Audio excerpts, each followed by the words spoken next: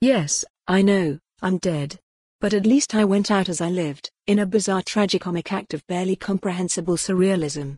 You may recall hearing about my tragic demise, although, admittedly, it was somewhat overshadowed when that lad from East 17 somehow managed to drive over his own head. If you don't remember, I had been trying to fix the outside aerial to watch the Man United game when I slipped, tumbled off the roof and smashed through my greenhouse. Thankfully, Emu wasn't with me at the time. They are flightless birds and the fall would undoubtedly have killed us both. God, however, had a plan. Upon my rather abrupt arrival in heaven, he honored my sacrifice, making me the UK's patron saint of football.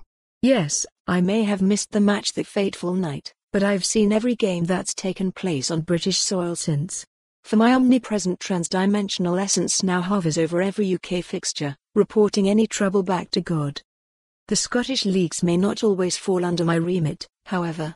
According to God, independence is inevitable, and I admit I wouldn't feel comfortable working in a country that's rejected the hierarchic dominance of your English superiors. And also ungratefully turned its back on Her Majesty's matriarchal devotion to this great nation's well-being, an unconditional love which exceeds that of our own mothers. God only knows.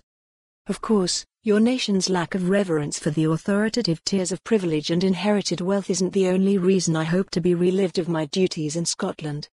You jocks have no idea how embarrassing it is for an English gentleman like myself to report back to God and have to repeat the colourful language favoured by your supporters, particularly at old firm matches. It's also exhausting having to Google all the countless references to religious sects, ancient battles, and subsequent grievances to understand what the hell is going on. For the record, I can confirm God is especially displeased at how his favorite song, Neil Diamond's Sweet Caroline, has been reborn as a blasphemous hate anthem by aggrieved Presbyterians. He's particularly infuriated at never being able to listen to the chorus sweet descending horn melody again without hearing a suggestion of illicit fornication with the spiritual leader of Catholicism.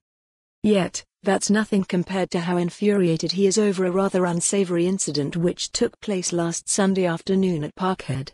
As usual, I was idly floating over the stadium, keeping a particularly close eye on the famous North Curve section, when I spotted a large banner which boldly exclaimed Fuck off Rod in a strange retro-futuristic font.